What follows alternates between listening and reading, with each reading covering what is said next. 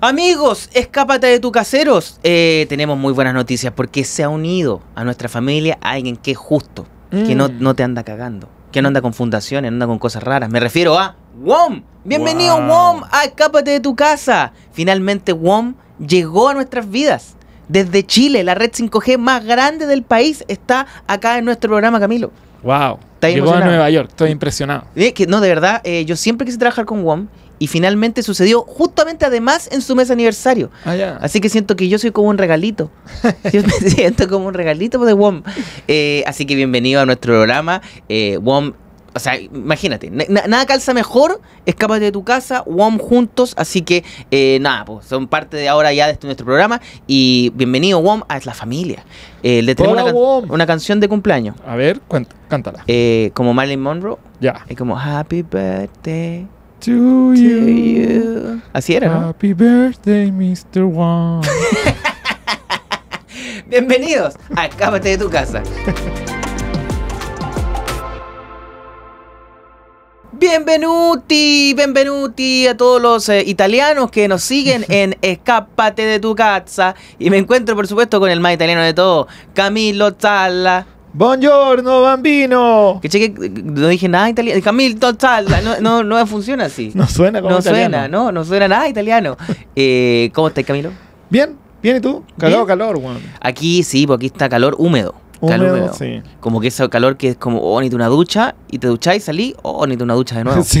Ese es Como que o vaya al baño, onda. te mojáis la cara, salí y estáis con la cara más mojada. Más moja. Así que está asqueroso el ambiente acá, pero eh, mira, no sé, ahí el debate inviernistas, veranistas, yo la verdad me declaro incompetente. Eh, para mí los dos son malos. Todos, todos malos. Todos los extremos son malos. Todos los... Oye, chiquillos, bueno, primero, bienvenido a otro capítulo de Escápate de tu casa. Hoy día tenemos una gran invitada, Fran Valenzuela. Yes. Escápate de los Pisces. De los Pisces. Eh, así que vamos a Terminamos de- hablando un montón de los Pisces. Weón, tú eres Pisces y ella es Pisces. Es que, weón, es que, puta, mira, ahí van a ver en, en la entrevista, en la conversación, weón, todo tiene sentido. todo tiene sentido. Eh, nada, oye, eh, algunas cosas. Viste que ahora apareció como un nuevo Twitter. Sí, po, thread. ¿o no? Sí, Pero sí. no, aún no me meto. Pero, ¿cómo? Sé que esto es lo que me molesta. A ver. Ha costado tanto que la mamita, los papitos puedan decir, ah, en el Twitter, anda en el Twitter. Y ahora tienen que decir en el thread. No, pues, weón, póngale un nombre que todo, todo el mundo pueda decirlo, pues, weón. Sí, algo que funciona en español. ¿Cachai? El, el, el 3. No sé, algo que, que no sea tan complicado porque la verdad que seamos honestos, lo que va a pasar es que los papás le van a decir el Twitter nomás. lo vi en el Twitter, papá, el, el Twitter, el Twitter nomás, ya, y se acabó la wea. igual. El Twitter de Instagram. así El otro ser. Twitter, pues el otro. El otro. Eh, así que, bueno, estoy ahí, ¿ah? Me pueden seguir en, en mi nombre, obviamente del mismo que el Instagram, porque así funciona, igual está bueno eso. Ah, ya. Y es como solo texto. Cuéntanos cómo funciona. Yo no lo he visto, ni siquiera lo he visto. O sea, podéis subir video, pero es igual a Twitter. Ya. Anda así como es la misma wea que Twitter nomás. Pero es una app distinta. Claro, una app distinta y, y quizás más ordenada, un poquito más limpia, por ahora, Claro. ¿cachai? Porque igual está como, está floreciendo. Hasta que se empiece a llenar de publicidad. Después ¿no? le viene la pubertad y La después le viene la maldad. Así que eh, eso, síganme ahí y eh, no se olviden que estamos vendiendo estas camisetitas, ¿ah? Ah, sí. Sí, esta es la de los fuletes. eh, pueden meterse a fabriciocubano.com y en esa paginita pueden ver la tienda y comprarnos las poleras de los fuletes. Hay tres diseños muy bonitos, uno de la Wiley Myrus. Sí. Eh, así que nada, pues están ¿Y hay invitadísimos. envío a todo Chile? Hay envío todo a todo Chile, conche tu mare. a todo Chile, Juan Turís, como, ah, yo soy de un pueblito. Ahí, ahí estamos. Va a llegar. Así que, por favor, eh, compren porque tengo tres hijos. Hablando de eh, Hablando cosas de que hijos, han a pasado. Eh, oye, estuvo bueno el capítulo con Sergio Freire la semana pasada. Sí, estuvo muy interesante. Sí. Eh, Salimos harto en las noticias. ¿En serio? Pero en noticias de mierda, en esas como Publimetro, donde Ah. sale como día a día, día por día, una cosa así. ¿Y qué decían?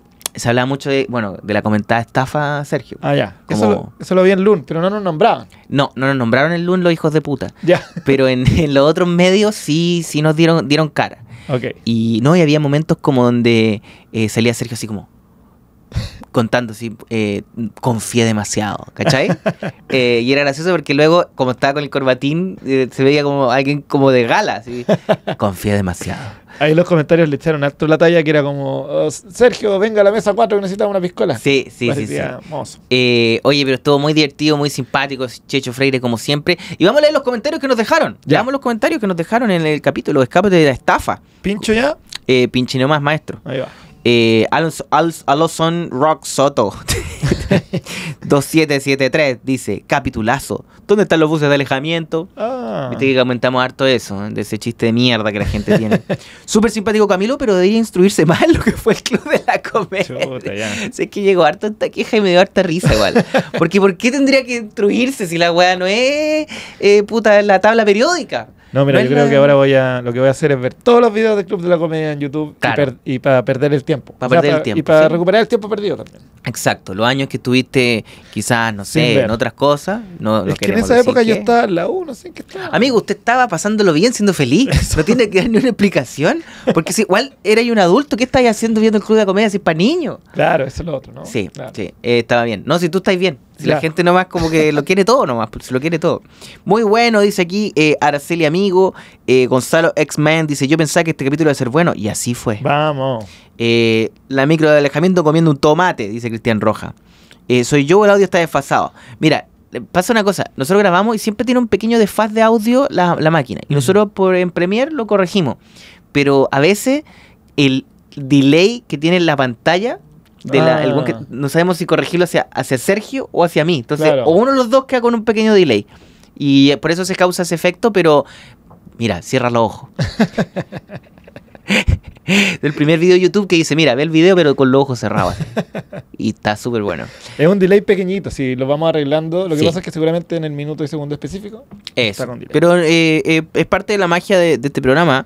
Eh, aquí está, eh, muy bueno. Yo no pedí el bus del alejamiento y sí se cargó el chiste. Que me dio risa, cariño a todos, dice nuestro amigo Chris Lilith, nuestra amiga. Eh, muy bueno, se agradece las conversas. Un abrazo desde Sydney. Topo y Sergio superan a Melón y Melame. Eh, Camilo igual a Tom Green. Oh. ¿Te dolió. ¿Te dolió eso o te no, gustó? está bien. ¿Es bueno Tom Green? Sí, era bueno.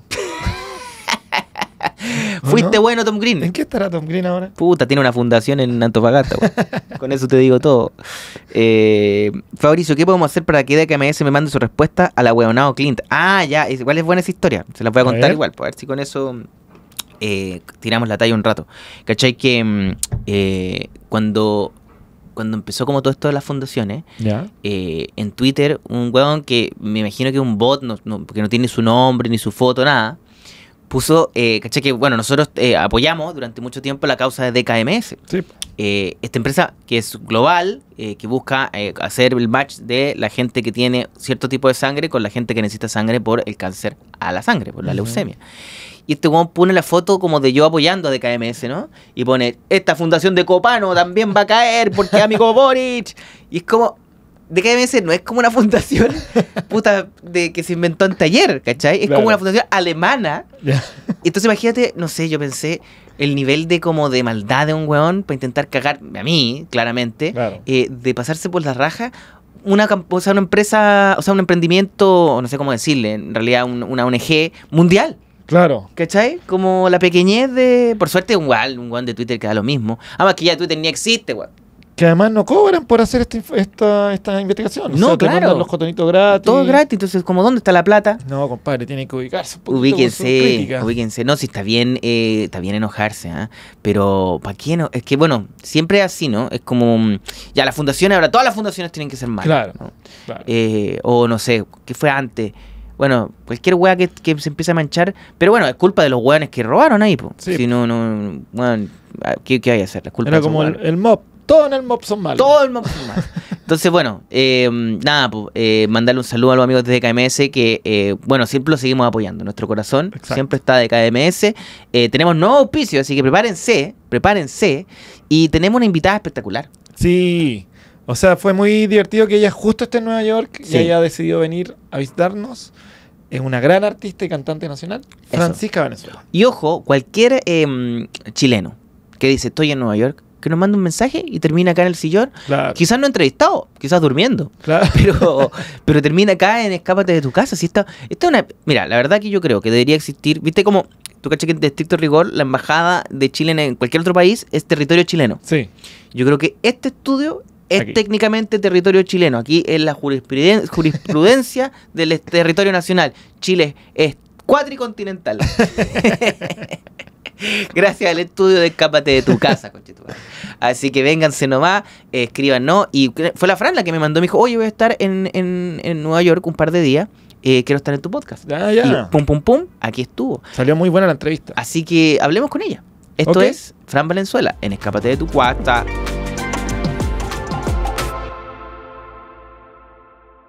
Amigos, amigos, amigos, amigos, amigos, tengo una muy buena noticia porque tenemos un gran auspicio que se une a la familia Escápate de tu casa y se trata de Global 66. Global 66 es una aplicación que puedes utilizar en cualquier lugar del mundo y puedes mandar divisas de un país a otro sin costos ocultos, sin que te hagan la trampa. Sí que te haga la trampa el banco. Así es, con Global 66 todo es transparente y además es fácil de pasar de una divisa a otra. O sea, si un primo ahí está todo cagado en Alemania, necesita plata, ¡pum! Global 66. No sé, pues hay un mexicano que te debe plata por una cuestión que prefiero no saber, ¡pum! Global 66. ¿Qué más fácil? No, no hay costos ocultos, está todo en tu teléfono, es realmente muy fácil de usar. Te vamos a explicar más cómo funciona próximamente, pero primero queremos agradecerle por ser parte de este podcast. Así que bienvenidos a la familia, bienvenidos Global 66. Tenemos do- doble aplauso con Francisca Valenzuela. ¿Cómo estás, Francisca? Muy bien, querido Fabricio, ¿y tú? Pero ¿por qué, por qué tan cerca de mí? ¿Por qué tiene que ser así? No, no, bueno, así, así más buena. ¿Se escucha bien así? Estamos con, Eh, con Camilo, ¿ah? no sé si... hola, hola. sí. Yo también soy fan de Camilo y me encanta que tenga como un rol en este podcast. Es que Camilo se encontró, yo Gracias. creo que en, un- en este podcast. Encontró ¿Sí? su identidad, ¿no? Como que Sí, te completaste. Encontré mi voz.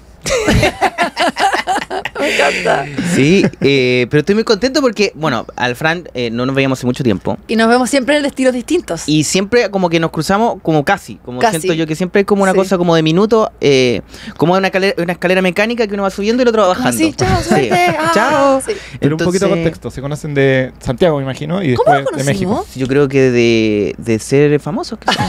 Es- Eso es todo. Obvio. En ese amigo, grupo cuando tú eres famoso, te invitan a un WhatsApp y dicen, ¿de quién quieres ser amigo? Finalmente lo lograste. Bienvenido al WhatsApp de los Sí, famosos. yo elige Fabricio Soy Copano. Leo Caprile, mi el número dueño de este uno. WhatsApp. Mi número uno en la lista era Fabricio Copano. ¿Cuál, cuál sería más tu- tu otro, otro seleccionado? Eh, Alfredo Castro. Sí, pero yo no lo conozco, me intimida mucho. Me ¿Es daría mucho miedo hablarle, pero sí me gustaría. Siento que todo lo que tengo que decir es como profundo, inteligente y de alto impacto social. Sí, sí, pero yo estoy seguro que en un momento se debe curar y ser muy agradable. Ah, bueno. Hay que vamos a verlo débil. No, sé qué Claro. está hablando de Alfredo Castro, pero eh, lo importante es que Bueno, pero nos conocimos por ahí, tenemos muchos amigos en común. Y luego, Ya, por Alfredo Castro se conocieron. nos conocimos a través de Alfredo Castro. Alfredo Castro dijo: Yo tengo una- tu nuevo mejor amigo, dijo Fabricio Copano. Y eh, luego nos cruzamos varias veces en Chile. eh, cosas que me acuerdo, porque tengo muy mala memoria, pero me voy a acordar algunas imágenes. Una me acuerdo verte en Viña, tú estabas en Viña. Y estabas arriba del escenario. Eh, y nos vimos, bueno, cuando tú Fue tocaste en Viña. 2020. Eso fue el 2020. Sí, me acuerdo. Esa Pero- semana dura después del estallido y todo con Lamón. ah, no, esto fue antes. Cuando fuiste de jurado, ¿o no? ¿O fue ese- ¿Cuánto tiempo? Ah, ese vez, me acuerdo cuando fue con visto. eh, 31 minutos. con 31 minutos. Ya. Menetes. Cuando éramos babies. Sí, eso me acuerdo. Luego me acuerdo, eh, claro. Sí, me acuerdo eh, esa noche. Y me acuerdo también de, eh, bueno, eh, mi hijo Nino, que te quiere mucho. Mm, Mm. ¿Cómo está Nino? Está gigante, ya está yendo a la universidad. Está, eh, sí, un Es un caballero, tiene un nombre, Nino. Sí. A camisa abierta, así. El otro día me dijo, que me dio mucha risa, me dijo, eh, si hay un niño que no se llama Nino, pero que se porta mal, igual le van a dar un premio. Como que empezó a decir, como, como a, a preguntas que nunca, le- o sea, como compleja igual, pues, ¿cachai? Sí. Como soy un niño, pero Qué no soy yo. Eh, así que está ya como, sí, está, está empezando como su era, su era más de, mm, de metáforas, de Qué alegoría. entretenido, qué Sí, bacán. sí, Sí, pues nos conocimos ahí, eso fue en California. En California. Compartimos un poco más. Sí. Estábamos los dos ahí en, en, el, en la exploración y navegación de Los Ángeles. Ujú. Porque, Fran, tú viviste en Los Ángeles. Sí, viví Ok. en Los Y ahora Ángeles. estás en México, ¿no? Ahora estoy en México. ¿Cómo fue tu camino un poco de Chile a México después de Los Ángeles o cómo fue? Em, yo, como soy media gringa, California siempre ha sido un lugar que se siente como en casa igual, porque tengo mis tres hermanos allá, Pero como paso que en el norte allá. de California. El norte de California, sí, no es Los Ángeles, sino que San Francisco y el sector cerca de San Francisco. Y ¿The Bay Area? The Bay Area, man, Ok. la bahía, la bahía. Entonces ahí tengo mis tres hermanos mayores mis papás que son científicos, trabajaron toda la vida ahí. Y cuando volvieron a Chile, me volví con ellos, estuve en Chile siempre, la, la, la. Y después, ahora de grande, saliendo al mundo desde Chile con la música, eh, quería irme a un lugar, a un epicentro cultural y Los Ángeles me hizo sentido. Porque en ese momento... Cuando me fui a Los Ángeles, en México no tenía ninguna red, no ten- había trabajado tocando, pero no tenía ninguna estructura, no tenía un equipo, entonces me parecía Pero igual- interesante ir a Los Ángeles a, a como crecer y probar y... Yo no sé, mira, esta es mi experiencia. Sí. Pero yo, o sea, obviamente que hay cosas que quiero en Los Ángeles, pero también lo odio un poco. Los Yo Ángeles. también. Como que lo, lo, lo termino un poco odiando. Como, no sé, siento que es una ciudad media maldita Sí. en el sentido de eh, Ujú. que es muy difícil como, como que algo pase, porque todo está demasiado disperso. Entonces Sí. todo el rato estáis como saltando de cosas bacanes, pero que están muy lejos una de la otra. Totalmente. Nunca se siente como que una hueá va a suceder ahí. ¿No? Y, y yo siento que más las cosas no suceden como uno está acostumbrado que sucedan en una su- ciudad, que suceden afuera, en la calle, en una continuidad. Creo No. que en Los Ángeles todo fragmentado, es todo, todo se cocina a fuego lento, en silencio, en las casas, otras bambalinas, y nunca nada sucede afuera. Yo creo que todo lo bacán que sucede en Los Ángeles sucede en el patio de atrás del de los millonarios de Los Ángeles. Mm. Pero no, Sí, en, po. no, en, No en la no en el bar, ¿cachai? No, O en en, un auto. eh, no en un auto. Todo en un auto. No, sí, sí, no, todo es rarísimo, es muy raro. A mí me pasó exactamente, exactamente lo mismo. Además que sentí que era una cosa como... Es lógico lo que voy a decir y no está ahí por esa razón, pero es algo tan em, intrínsecamente transaccional Claro. el lugar que todo lo que es como la vida, justo lo comentaba el otro día, todo lo que es como la vida no sucede, como que no hay vida, ¿me explico? Es Claro. todo en función de objetivos, que está bien, estamos todos ahí por lo laboral, por lo creativo, por lo artístico, pero todos los espacios entre medios son como inertes, entonces se activa solamente en función del trabajo. Es que es terrible porque la gente, y esto es súper ordinario, la gente te habla como de su agente y su manager todos los días. Todos los días. Y lo encuentro tan como de mal gusto. Sí, estar así. Están todos vitrineando posibilidades, ¿eh? ¿cachado? Es como, Sí. oye, juntamos a almorzar y todo es como, sí, te aviso ese día cinco minutos antes, porque no sé si quizás apa- aparezca un mejor panorama, trabajo, persona, bla, bla, bla, bla. Sí, ¿Cachado? sí. Mm. Es una ciudad de Es- mierda. Una es- ciudad de mierda. Pero también está combinado con una calidad de vida. Es que ese calorcito y esa weá, eh, yo creo que es el engaño de la weá, Claro. ¿cachai? Porque tú vas por el calorcito, creyendo como, ah, mira, hay buena onda, hay calorcito, Sí. esto va a estar simpático. Sí. Y luego todos los buenos te están como midiendo como. Es rarísimo, es Sí, rarísimo. Como los seguidores mientras te miran, ¿cachai? Bueno, sí, a mí me pasaban fiestas que, por ejemplo, no era conocida en California, iba a una fiesta. Pues me acuerdo de una fiesta en particular que era como de moda, súper importante. Todas las niñas así, increíbles. Y yo como, me encanta tu vestido. Y todos así como, mira de rebajo.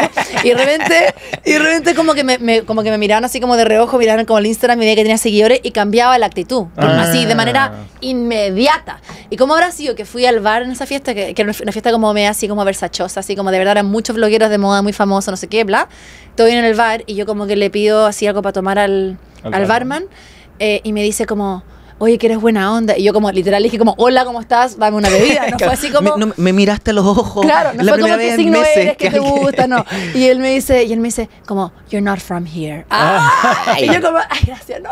Pero, eh, pero sí, es rarísimo. Además que también pasa que encuentro que el síndrome de Big Lebowski es muy real, que hay como una inercia como del biorritmo lento y caluroso que hace que todos los días como que se parezcan y se pegoteen Sí. y uno no haga nada al final. Es raro. Siempre me acuerdo como de, de Bill Hicks que tenía un chiste que decía como que, que- que- ¿quién necesita tanto sol también? Como, Ah, claro. ¿Quién necesita que somos como salamandras que hay que estar Claro. ahí como en el sol? Como está bien que llueva, ¿en qué Sí. esa weá vivir como, Sí. como si fuera en verano? O sea, a mí en un momento era como, de verdad nunca va a ser dejar de ser verano. No, Como, nunca. De verdad es un nunca. poco como la historia, hay una historia de Ray Bradbury que es como que llueve siempre, pero esto es la inversa. ¿Has cachado esa historia? Creo que Pero es como la inversa, es como que nunca, no, nunca llueve. Y oye, y una pregunta, tú, de- de- con- cuando se fueron con la Cristi ahora, de LA, em, ¿tienen amigos que mantuvieron desde ahí, de ahí o no? Sí, sí, sí, sí. sí. ¿Y la comunicación cómo es con esos amigos? Eh, me gusta esta como... A ver, ¿cómo están los, cómo están los, cómo están los afectos, Fabricio? ¿Cómo están los afectos? Es que me da curiosidad porque yo siento que incluso, de- o sea, somos carreras distintas. Pero dejaste de hablar con todas esas personas. Eso es lo que me quieres contar. que de, te fuiste y nunca más supiste de ninguno de esos hay, hay relaciones que continúan. Difícilmente, pero continúan. No, no, pregunto porque nosotros tenemos carreras muy distintas. Somos los dos Pisces. Ah, pero, Espérate, ¿cómo averiguaste que yo era Pisces? porque nuestros amigos en común me comentaron. ¿Qué- ay, espérate, que es la Valpa, ¿quién te comentó? No, ¿qué- ¿fue la Valpa No quizás? sé. O la Yovi, quizás. Eh, Toda esta gente está obsesionada con los signos de zodiaco.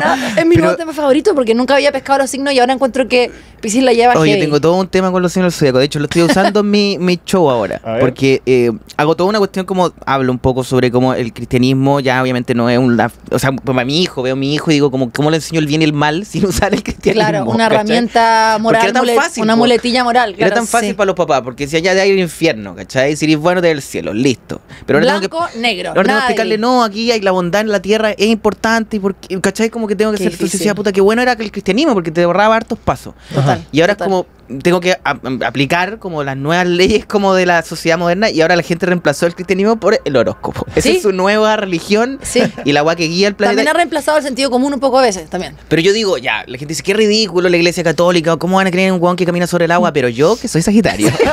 Digo, Espérate, no está tan lejos, ¿cachai? No está No, tan lejos. está tan lejos. Pero Oye. la cagó que tan, así, eh, todo el mundo me dice, de hecho, por eso me acuerdo cuando me dijiste, eres Piscis, todo el mundo me ha dicho, bueno, eso es muy Piscis. Todos los días, Sí. cuando estuve en Chile, todos los días alguien me trató de días. Piscis. Es que es como un nuevo juguete social, como de Sí. conexión social. Claro. Además que es como, no, es que me caen súper bien los piscis, pero me caen mal, no, no sé cuánto. Es muy Ah. divertido, yo no lo pescaba nada, Bueno. pero me gusta de un lugar de- estadístico, de patrón. Como Claro. que cuántas guaguas, cuánta gente se embarazó en tal fecha para dar lugar a piscis.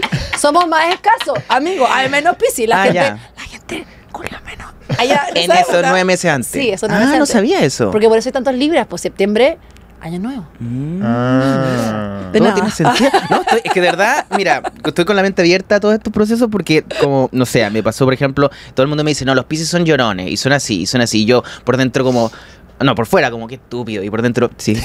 Como, sí, es verdad, es verdad, es verdad, es verdad. Soy igual. Oye, y también la- todo el mundo cree que uno es como así. ah, Sí. ahora estoy así. De verdad, estoy a punto de llorar Sí. todo el tiempo. Yo también. Pero no, pero de mi punto nos desviamos. Pero lo que te iba a decir de estas preguntas de tus afectos Sí, era que nosotros tenemos carreras muy distintas. eh, nos hemos ido viendo a lo largo del tiempo, así encontrándonos en situaciones. Pero es, es interesante y siempre te pregunto tantas cosas cuando nos vemos, porque encuentro que si bien son áreas, eh, objetivos y, y espacios distintos, hay mucha similitud en nuestras carreras. Claro, hay algo ahí. Y también siento que tú te has, has salido de Chile y has sido como pionero de alguna manera en crear eh, camino de, en tu rubro en el mundo, siendo chileno, que también sé que suena un poco apestoso siempre volver como a Chile, al vortex que nos chupa a todos de vuelta, que es como Chile, con el amor y odio que uno le tiene todos los días. Pero al mismo tiempo eso es difícil, difícil porque no hay necesariamente referentes o antecedentes previos. Entonces que Claro. estar como abriendo. Entonces esa, esa, esa, esa búsqueda tuya siempre me interesa también desde un lugar laboral y creativo, ¿cachai? Sí, pero mm, bueno, obviamente como tú sabes, es todo muy poco planeado, es Sí, mucho po. más eh, accidental, pero lo que sí estoy de acuerdo es que Chile es como un, un, eh, nosotros lo hablábamos en este podcast, Ujú. que Chile no es un país, es un estado mental. Sí. Es un sí, lugar al que permanente. uno va a Uno lo- visitar Lo, llevas contigo siempre. y, y te- todo el rato estás como mirando y lo peor que a nadie le importa. O sea, No. eso es lo más fuerte, como darse cuenta de que aquí a nadie le importa Chile, pero no Pero ni un sí es poco. como decir el nada. país de, de como... Eh, Zimbabue. O sea, Tur- decir, Turquime- eh, Turkmenistán, ¿cómo se llama? Inventar un país Turkmenistán. es lo mismo. O sea, si tú inventas un país, ellos dirían, ah, claro, como, como Chile. De verdad no hay ningún tipo de conocimiento ni valoración. Y claro, y uno todo el rato como que tira esas cuerdas como, bueno, aquí en Chile. Y es como, ¿qué? Bueno, no, No. sé. Eso Pero es muy a uno no raro. importa. A mí me pasaba igual en Los Ángeles, que iba a reuniones, sí, sí, de verdad, le contaba a una cantante hace poquito que me preguntaba ciertas cosas y no, no, no se le ocurría todos los todas las cosas que uno hace para llegar, para llegar donde uno está. Es decir, un- la gente ve el resultado, ¿verdad? Claro, no está pero la cocina no... Mm. Claro. Y, y le comentaba de que en Los Ángeles iba a muchas reuniones de agencias y sellos y management y yo no tenía idea cómo funcionaba. No sabía que era un manager, no sabía lo que era un agente, Claro. no tenía idea de cómo presentarme ni qué cosas hacían que mi proyecto fuera más desea- deseable Claro. para yo lograr lo que yo quería hacer. No tenía ninguna idea. Entonces llegaba y llegaba, pues tú, una gente mega importante, como, tengo cinco minutos, como lunch break, y me decía como, ¿quién eres? ¿Dónde quieres llegar? elevator Y yo- pitch. Elevator pitch. Y yo empezaba como, bueno, en el año 2000, yo toqué en Bellavista, así como, que es un barrio en Chile, así como... Y es como, que, que dale, como, da- dame como do- dos cuevas nomás. Y con eso yo puedo intentar un Y él- personaje en mi cabeza y Sí, ver si po, te y él me vendo. decía, y él, uno, que le importa Bellavista, dos, o sea, como really Bellavista, y Sí. segundo era O como... sea, no, todo respeto con la gente que está en el barrio Bellavista No, y no, todo. y pero a nadie le importa, nadie le importa No, el barrio y, Bellavista. y acá e inserta aquí el barrio que sea, no Sí. digo Bellavista, digo porque ahí es donde me tocaba tocar una cosa de jazz, No, yo, ¿verdad? yo pero también partí en el barrio Bellavista. Claro. De verdad. viva el barrio Bellavista. Sí. No, pero digo como que puede ser cualquier lugar. En el fondo lo que te quiero decir es que mi manera de contar la historia no tenía ningún sentido y además yo terminaba de hablar y me decía, por ejemplo, esta persona me dijo, ajá, me decía como, pero tú eres amiga de Enrique Iglesias. Ah, Esto es lo más importante. Claro, y Era yo como, que aquí el pero latino no ni latino ni español, y es como, sí, pero canta como bailando. Así Claro, como, claro. y yo como, Wow. ah, ¿cachai? Entonces también el entender el contexto en el cual uno está, obviamente, me Sí. explico, que bueno, cuesta igual mucho. no sé si te pasó, pero en algún momento como que te aprendiste una biografía tuya que repetiste muchas cost- veces. Sí, pero me costó mucho, me costó Ya. mucho. Y sabes que aprendí, que no sé si te, te hace sentido esto, la biografía off stage y la biografía on stage. Mm. Ah, ya. El no, cómo no. pichar de dónde uno es y que en, en ese microsegundo. Claro, como ¿Cachai? sí, pero es muy rara la, la- bueno, es que es muy es terrible venderse a uno mismo, ¿sí? eso es Sí, como es difícil. intentar venderse a uno mismo en el terrible. mercado de, de Es valores terrible. del, del, del como gringo. Bueno, ahora le puedes pedir a ChatGPT que escriba tu. Ah, tu es biografía. cierto, es cierto. Pero por ejemplo me pasó que hice gira con el Café Tacuba el año pasado y tenía que aprender cómo condensar mi identidad artística y quién soy, de dónde vengo como latina, entre comillas, ¿verdad? Porque bueno, que esa es la otra wea que ahora es no- como que ahora hay que ser latino también. Claro, Sí, eso en el escenario de Fresno o de Dallas o donde sea, eh, tratando de hacer entender como qué tipo de música hago, quién soy artísticamente, quién, dónde vengo, en esos siete minutos o diez minutos Claro. entre medio de canciones en un set, ¿cachai? Con un público que no es cautivo de uno, Sí, ¿verdad? porque no tiene nada que ver con uno y que no tiene idea quién, es un- quién uno es. Pero sí, lo que pasa es que, bueno, al menos como en mi trabajo, como solo tengo eso. O sea, mi, mi- Solamente mi rutina es mi pitch de quién Sí. soy, pues, ¿cachai? En el, Sí. en el escenario. Mientras que, claro, tú tenías eso y luego vienen las canciones. Pero en el caso tú tienes que identificar cuáles son los elementos que son que conectan independiente de la barrera cultural. Igual hay, Sí. siento que hay como un poco una- un camino de entrada a lo que haces tú, Fabricio, cuando ponen, por ejemplo, que tenía un especial en Netflix. Entonces la gente ya reconoce un poco Es que, que los tienes gringos, carrera. gringos tienen esta weá que te preguntan, claro. bueno, en el stand-up te preguntan como your credits. Y tú tenés que decir como tres weas, así como Netflix, eh, James Corden y bla. Entonces cuando antes de subir dicen, ¿cómo él estuvo en esto, esto? Pero yo creo que al público le importa una callampa, como que está así como, bueno. Pero sí te ubica, de todas maneras. Claro. Dice como ya no está en su casa, está Sí, en el mundo. Claro, claro, claro, sí, Claro. es verdad. ¿Cachai? Entonces sí. la Fran dice, yo vengo de Bellavista, hago música y es como... Bella Vista, Bella Vista, Bella what- Vista. Bella No, View, claro, es what is como- that? No, claro, o sea, en el fondo ahí es como Grammy, número Sí, de streams. tiene que ser eso, sí, eso eh, es. Colaboraciones, eh, números de seguidores. Todas esas Claro. cosas yo creo que son como la vitrina de para ubicarte un poco. sí. Para bien y para mal. Pero bueno, es, es curioso porque, a ver, a mí me pasa mucho esto, como eh, es una pesadilla, como que te- tener que estar todo el rato como intentando leer el algoritmo de la realidad y, Sí. intentar como subirse a, a él sin perder lo que uno es, ¿cachai? Porque uno obviamente también quiere subirse, pues, si uno está como, uno quiere, quiere que las weas funcionen, Sí. pero también como que quiere, quiere como ser uno también. Estoy demasiado de acuerdo, lo has dicho muy bien. esa Sí. weá como que encuentro que es la pesadilla de la vida moderna. Es como, eh, ok, primero yo no soy un weón que no quiere estar, ¿cachai? Como que una primera decisión en la vida. Porque hay weones que dicen, ah, yo no, no, no, me da lo mismo, no, no voy a estar vendiéndome al algoritmo. Y es como, ya, ok, pero quizás putas tiene una esquina ahí para siempre y todo bien, feliz. Sí, pero, no es mi decisión. expectativa. No, claro. Claro, pero no es lo que yo quiero. claro. Pero aún así, como por ejemplo, no sé, los comediantes ahora tenéis que subir chistes a TikTok y cortarlo en pedacitos. Y tiene que ser un segundo, ¿no? Como de un chiste, qué sé yo. Y casi siempre, para no quemar chistes, lo que hacía es hablar con el público. Entonces, hacía una weá, una interacción con el público, subí esa weá, y eso casi siempre, si tiene algún conflicto, el que sea, sea un weón de Trump en el público, eh, una agresión de un weón que te grita, siempre tiene más views. Obvio. Entonces Claro. ahora todos los shows son como medio agresivos y como que toda la industria se pasó a hacer como todos los weones del el público se mala costumbre, entonces empieza como a pelear con el weón Claro. y Ah, para después aparecer en el aparecer en el TikTok. Mm. Entonces heavy como, no sé, me imagino que en la música eso pasa en millones de otras dimensiones, pero ¿cómo, cómo tú cómo peleáis contra esas dos cosas? A mí ¿Cómo- Me cuesta un montón y creo que me identifico mucho con lo que tú decís, porque es como el, ese extraño y quizás irreal balance del cual nadie quiere hablar, porque es Sí, muy po. poco mágico y muy poco sexy, decir, yo hago caso a lo que quiero hacer y eso es genuino y me lleva a un lugar, pero al mismo tiempo le hago caso al mundo de afuera. O sea, escucho, ¿no? Como que igual escucho. Y participo Sí, y, y trato de adaptar el mundo de afuera a lo que yo quiero hacer y entender el contexto, Sí, ¿verdad? Y sí. encontrar- entenderte a ti también como, como, como creador o creadora y también como producto. Claro. Mm. ¿Cachai? Porque también a mí es súper lindo y rico cuando estás con un artista y dice como no me importa, no me importa nada y como la nominación del Grammy y los streams y los sold out. Y tú dices, pero ¿cómo? ¿Cómo lo hicieron? Porque más que todo tiene que ser ahora en exceso. Sí, no po. puede ser un concierto, tiene que ser sold out. No puede ser una fecha una gira, tiene que ser 47 Claro, fechas. 47 fechas. ¿Cachai? Y todos tienen que tener un millón de seguidores, pero tiene que ser effortless, como que no hiciste ningún esfuerzo. Entonces, No, un- nadie habla te mucho del proceso. una vez y se vendió todo. Esa es la, esa es la sensación que tienes que dar siempre. Claro, y siempre estás como así en un lugar como fabuloso. O sea, como que yo entiendo que todos sabemos que es una ilusión. Y yo entiendo que también hay mucho del proceso que es difícil estar explicitando siempre porque no es cansador estar comunicando Sí, todo, todo el Sí, po. tiempo. ¿Cachai? Y también creo, no sé cómo lo ves tú, que la percepción de ti está hecha igual, independiente de lo que tú hagas o no.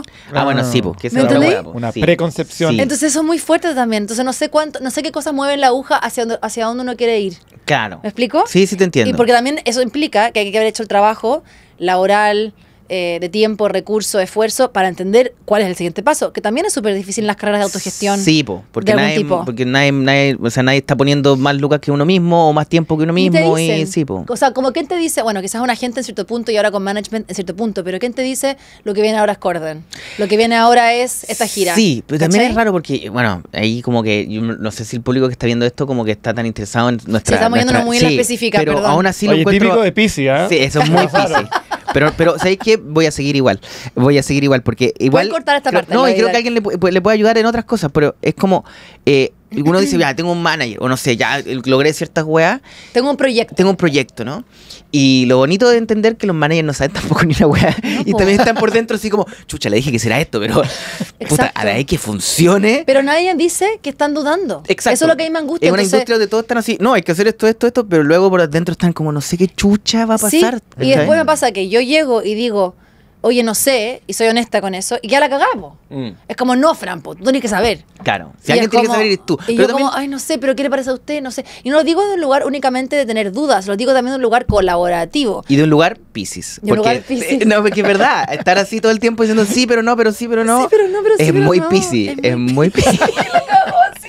Pero también siento que, que es como uno crece colaborativo y la gente, bueno, es como esa idea que el- también el arte no es tan democrático, ¿verdad? Hay un proyecto y ese proyecto, que no, que no quiere decir que las relaciones no sean horizontales, Claro. pero tienen que ver con una visión, ¿me entendí? No hay tres directores por película. No, y tenéis que alguien decir vamos para allá. Y hacerse cargo también si es que la weá eh, no funciona. Sí, ¿cachai? po. Pero no pueden todos decir que bueno, aquí hubo un pro- problema igual. Al revés, como en nuestra industria, que en, Chile me pasaba muchas veces que eh, como trabajar en tele es una pesadilla. Eh, alguien que está acá quizás lo sabe, pero en general trabajar en la tele es muy difícil. porque- yo, Sí, estuve en The también, tú estuviste en The Voice. ¿Qué? Yo estuve en la tele Chile, yo. Es verdad, es verdad. Eh, nadie quiere decir que sí ni que no. Porque nadie quiere hacerse responsable de que algo funcionó o que fracasó. sí, estoy muy de Entonces todos hacen como un- una suerte de sí no al mismo tiempo, Sí, ¿cachai? una horita. eh, donde todo, nadie, nadie fue el último que tomó la última decisión, entonces esperan que las guas pasen por sí mismas. Totalmente. ¿Cachai? Como para no. Igual yo tomé eso, estoy muy de acuerdo porque sí lo viví, tomé eso como el aprendizaje filosófico de la vida. Si yo no hago nada, la cosa igual se mueve. sí, es verdad también. Uno sí. que empuja está siempre así calculando y como aprendiendo y haciéndose cargo y observando y no sé qué. Y oye, pero te hice dos preguntas. Uno es, eh, ¿qué viene ahora como en la carrera tuya? Como tú decís, como ya hice Corden, estoy en la Ah, gira. no, lo que tengo que hacer qué. ahora, bueno, tengo que hacer esta gira por Estados Unidos, que es como, o sea, no sé quién va a comprar estos tickets, pero tengo que ir a todas estas ciudades como Milwaukee, ¿Se Filadelfia, hace marketing para los comediantes? Sí, sí, hay como un equipo que supuestamente te ayude con eso, pero así como que yo voy y voy a cachar. Y voy a aprender en el fondo cómo hacer tour en Estados Unidos. Y eh, lo segundo que viene es, todo este tour en el fondo es para construir la nueva hora en inglés. Que eso Ya. es lo que debería yo hacer ahora. Una hora de stand-up en Para inglés. eventualmente pichar eso y tener eso afuera del mundo. Venderlo en algún streaming o ponerlo en YouTube, cortarlo en pedacitos, subirlo a redes y luego empezar a trabajar en una segunda hora. ¿Hay algún Y así. comediante o... ¿Existe comediante en, en mujer? ¿Comedianta? Comedi comedian. Comediana. Comediana. no sé. Porque como cacho que comedian con Sí, doble N. sí. eh, en inglés, eh, que haya hecho un que esté como en una posición que tú mirís que diga, ah, hace cosas en inglés para el mundo, en el global market, como que Sí, siendo hay ya originalmente de habla par. hispana. O sea, de habla hispana no. Eh, sí hay uno en brasileño, que es amigo mío, que a pesar de que es una comedia distinta a la mía, como que digo, ah, este está haciendo los, como los, está tocando los hitos como correctos, Exacto, ¿cachai? Sí, ¿Quién Eh, es? Rafi. Bastos. Ah. Rafi. Rafi. Y luego, eh, bueno, Trevor Noah, como un weón que venía de, de De Sudáfrica. Sudáfrica. Sí. Bueno, hay muchos que son también del mundo más asiático también. También, sí. Ese po. el que hizo Ronnie Netflix, Chang. el... No, ¿cómo se llama ese que es como el taiwanés? Hay un chico taiwanés. Un chico taiwanés. que ¿Era- tiene ¿No un será Ronnie Chang? ¿No es Ronnie no, Chang? no es Ronnie Chang, es otro. Pero No, bueno, Ronnie había uno es muy divertido que es como, es como Asian Man Breaks Down the Ah, US o algo así. eh, Wong. No, no sé, pero era- él hablaba mucho del tema de ser ex- eh, eh, inmigrante. inmigrante. extranjero. Que ahí la Sí. diferencia es como ser eh, haber nacido acá un poco, ¿no? Ser Eh, primera generación o segunda. O sea, él no era, por eso lo menciono, porque él había realmente venido de Taiwán y se había No, pues de integrado. verdad, pues. No como esos weones que nacen No, acá y dicen, nacen. no, yo soy chileno, o sea, soy chileno y que tus papás eran chilenos, pues weón. Tu Vos no soy chileno, weón. No estuviste tocando en Bellavista. Para mí, si un weón no estuvo tocando en Bellavista, ese weón no es chileno. Así de sencillo, Sí. ¿cachai? No, así que Pedro Pascal, te- weón, no te voy a decir nada. Pero Pedro Pascal es chileno, po. ¿Pero estuvo tocando en Bellavista? Mira, No, para mí, Pedro pero Pascal. en algún lugar si no estuvo- una teleserie, en si no estuvo en Romané, para mí Pedro Pascal Yo no creo es que estuvo en algún No, sí taller de en algún taller de teatro estuvo. Ah, Eh, pero, no sé. ¿estuvo? No, no, porque se ¿No? fue muy chico. Se fue Ah. como. Este es el tema que chileno antológica. quiere hablar. Este es el tema que Sí. quiere No, como- es quiere que no es igual apropiémonoslo. No, como obvio, como Chapel en el programa de que se apropiando de los famosos. Bienvenido. Chile, Chile, sí. No, Pedro Sí, Pascal es. Lo vamos a traer acá, lo vamos a Sí, traer acá. sé. Sí, sí, sí. Estamos haciendo las gestiones. Y voy a decirle, vos no estuviste. vos- bueno, no te vi en los chascarros de Romané. Si, para mí, ahí tú eres actor chileno, cuando Total. estáis saliendo en los chascarros de, de las teleseries del 3 o del 7. Pero Oye, Fran, hablemos de tu nuevo disco. Ya. O, o de tus últimos dos discos, un poco, ¿no? Que son del 2020-2022. 2000, o sea, en verdad son tres. 2020 fue uno, que fue La Fortaleza. 2022 fue Vida tan bonita. Y ahora 2023 viene Adentro. Ah, y Eh, este aún no sale. Aún no sale, sale en agosto. Ok. vi que hiciste este video con la Alba. Sí. Sí, sí, sí. Sí, Eh, el de donde se llora cuando se llora. Sí, Sí. Alba Gavirabi. Sí, nunca. Sí. Ah, Gavirabi. No sé decir bien su apellido. Yo tampoco, y en todas las entrevistas yo Alba Gavirabi. Sí, yo le decía Alba campeón, no. No, no, no. Yo Alba su Instagram, métanse, arroba, así. Sí. Eh, sí, hicimos el video, es un video súper... em, Me acuerdo que vi una nota que, que fue como en el 1 o alguna- que era como y lloró de verdad. Esa era Sí. como la nota, era como y lloró sí, todo de el mundo verdad. pensó que estaba actuando o que si te ocupamos lágrimas. Me preguntaron si ocupaba lágrimas falsas. ¿ah? En TikTok rigor igual si lloráis de verdad en un video estáis actuando. Yo estoy de acuerdo, estoy de Estás siendo una acuerdo. actriz de método, pero te- te- te- sí. O sea, en verdad fue, mira, la Alba me dijo, vas a llorar, porque en el fondo yo había dirigido varios videos, pero este video yo quería que fuera algo cinematográfico y distinto eh, y que fuera así súper sencillo Ya. y que tuviera esta escena de llorar. Entonces, Porque la canción se llama dónde se llora cuando se Claro. llora. Y yo quería evitar a toda costa pensar en esa escena porque me ponía nerviosa así como en la cama pensando como, mañana tengo que llorar, mañana tengo que llorar. Cuando uno igual llora siempre, hashtag Pisces. Pero, eh, pero el tema era como esta cosa, estar rodeada de gente y llorar como on cue, que te digan como ahora. Ay, Y tres, uno, llorar. Sí, y la Alba, que es seca, gran directora, gran guionista, todo, se sienta y me dice como, Fran, mira, vamos a hacer dos cosas. La primera es una cosa, una técnica que se llama bla bla bla, que es como que yo dejo la cámara ahí o a ti con el DP, con el director de foto. Y tú tómate todo el tiempo que tú necesites, Claro. trata de como invocar un llanto y lo vamos a captar en cámara, naturalmente. Claro. Y el director de foto va a estar ahí contigo, nadie es más. opción uno. Opción uno. Opción dos, si no funciona, es como lágrimas falsas, cortar. soplarte en los ojos. Estar así a una persona que está Claro, naranja mecánica. sí. Claro. No, segunda opción era como, vamos a, a fingir un llanto, va a ser más seco, vamos a después como cortar en, la en el montaje y después hacer un picado, ¿cachai? ya. Entonces yo todo el rato pensaba como, voy a fracasar en llorar, ¿cachai? Como, Y eso te da mucha pena, me imagino, y o lloraste. sea, me daba rabia más que nada, ¿cachai? Y yo así como, ¿cómo voy a llorar? Después estábamos en el, en el auto y, mm, y la Alba como que muy linda se fue a parar conmigo al lado del auto y dijo como, ya, mira, nosotros vamos a ir todos para allá, nadie va a estar contigo, solamente el director de, el director de foto. eh, y ver qué pasa. Y de repente estaba sentada en el auto, en el estacionamiento que estaba vacío, porque el video sucede para aquellos que no lo han visto, que los invito a verlo en YouTube. En está acá al lado en YouTube. Aquí en YouTube, Sí. mira, este Ahí clic Está en acá al esta lado, está al cajita, lado. esta está al cajita, lado. aquí, aquí, aquí. Eh, eh, me dice, ya nos vamos a ir. Y se van, y como que me quedo con el director de foto, y al principio estaba como aburrida. Fue desde el principio como... mm. Claro. Y después dije, ok, como voy a tratar de... Memoria emotiva, memoria emotiva, memoria emotiva. Memoria emo- ¿Sabes qué? Más que memoria emotiva, como. Porque no pensé en algo puntual. Lo que pasó fue como que dije- como que me di permiso, no sé si te pasa esto, como de sentir lo que en verdad yo había hecho. ¿Cachai? Lo que mi Como- creación, como la creación que yo hice. Yo me emociono cuando hago la creación, me emociono después en el escenario. Pero en todo el proceso entre medio de la lucidez del día a día, no estoy así como, oye, qué emotivo lo que crees. ¿Cachai? Ah, ya, ya, ya. Entonces solamente fue como que me puse a pensar y a sentir las cosas que había hecho y como que me emocioné. Y me acordé del proceso, me acordé de lo que representa la canción, lo, lo que que te vas a poner llorar ahora. siento- No, y fue heavy, fue heavy. Y me puse a llorar, ¿cachai? Ya, pero bacán igual. O sea, me Sí. imagino que después te sentiste la satisfacción. Totalmente de sí. como ya, hice esta guay que iba a hacer y, ta- y lloré. Y estaban todos como llorando también. E como todo el Sí, equipo. po, y todo el equipo como no me ve llorar en general. Claro. ¿Cachai? Mm. Porque uno también no, no sé, pues yo no lloro con mi equipo de trabajo. O sea, ahora, ahora sí, estos últimos dos meses sí, grande, grande equipo de trabajo, gracias. Pero no es lo normal que estés No es llorando normal. en el sí. No, o- o- y, y también de eso se trata un poco la canción también y la reflexión. Es como. También creo que en nuestro caso, o sea, yo lo hablo por las personas que están en una situación laboral que también exige horarios quizás fuera de la norma Mm. o, o estar viajando o situaciones que también son como inéditas laboralmente. Claro. Siento que igual en esas situaciones de mayor estrés también uno genera mucha emocionalidad. acuerdo- Pasan muchas cosas. Me, me acuerdo cuando estábamos en, en California, estábamos conversando justo de una cosa que de vez en cuando me acuerdo de este, de este concepto, que es como cuando uno cree que está avanzando, o sea, como en, en tu carrera, ¿no? Como tú crees que estás avanzando, ¿no? Que estás haciendo algo nuevo, pero en realidad estáis como eh, simplemente con el vuelito de lo anterior. Mm. y es difícil cachar Qué difícil Sí. darse cuenta. como, ¿cachai? Como, ¿estoy ha- haciendo algo nuevo o estoy en realidad como con el vuelito de lo anterior? Y me ha pasado hasta ahora, porque en el fondo yo terminé de Viña y como que todavía me quedan unos pedacitos de chiste y estoy como, tengo que hacer este show y estoy como rearmando esta cosa como mientras la estoy haciendo, digo como, esta weá es como, ok, estoy haciendo como el- el- la segunda parte de esta rutina que ya hice, o sea, que ya la terminé, ¿no? Y claro, tengo que como que venir a cerrarla en este lugar como para el público y como para darle un cierre definitivo, pero luego tengo que empezar a inventar otra weá. Sí. Mm. Y ya mi cabeza está como, ¿cómo voy a inventar esa otra weá que no se parezca nada a lo que hice antes? ¿Cachai? Como, ¿cómo voy a partir otra weá? Y claro, como que estoy justo en ese momento medio raro, donde ¿Cómo estoy... abordáis un nuevo proceso así?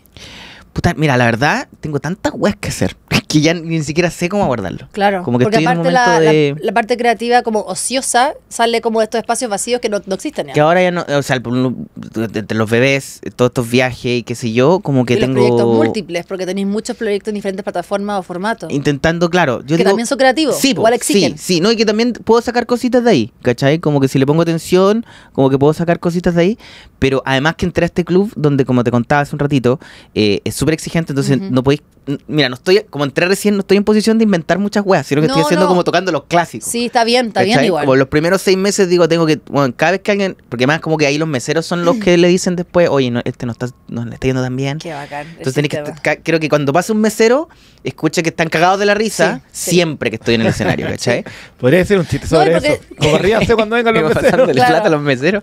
No, más que también es lo que tú decías de la conversación que tuvimos, que también es como quizás para ti o para un público que te sigue de otros lugares, eso es algo que ya se hizo, pero en este espacio emblemático Ah, bueno. e importante y que tiene un impacto más allá, tenéis que, que, partir bueno. en esa base que es otra base, ¿me entendéis? Como sí, no, y son eh, carriles cosa que paralelos. se me olvida también es como, eh, yo digo, puta, estoy contando estos chistes de nuevo y me odio un poco, ¿no? Estoy como, puta, odio estos chistes porque ya lo he contado. Sí. Pero esta gente de, no sé, Wisconsin, no solo los chistes son nuevos, Todo. mi Tú. existencia es nueva, ¿cachai? Sí. Como el, el club, nunca habían estado en este No, club. Entonces sí. como que yo estoy así, oh, es que lata, se van a repetir estas weas, pero para ellos todo es como Sí. asombroso y magnífico. Además que ellos ¿cachai? viven contigo ese momento acotado. Tú vives contigo siempre. Sí, claro. Sí, pues, sí, pues ellos te ven obvio, 15 minutos. Pero, sí. pero en el fondo la experiencia, hay que pensar en la experiencia, como la experiencia de esa audiencia es puntual y tiene que ver con su vínculo contigo. Claro. ¿Cachai? Por esos 15 segundos también. sí, o sea, po. que, sí, total, total. eh, Oye, Fran, ¿y te pasó a ti eso? Eh, porque hiciste el disco ese, el anterior al 2020 lo hiciste en Chile y el del 2020 ya lo hiciste en México, ¿no? Lo hice en Los Ángeles. En Los Ángeles. Sí. ¿Y entonces te pasó algo parecido como un poco cambiar o hacer como un nuevo producto o, o reinventarte tú mismo, quizás?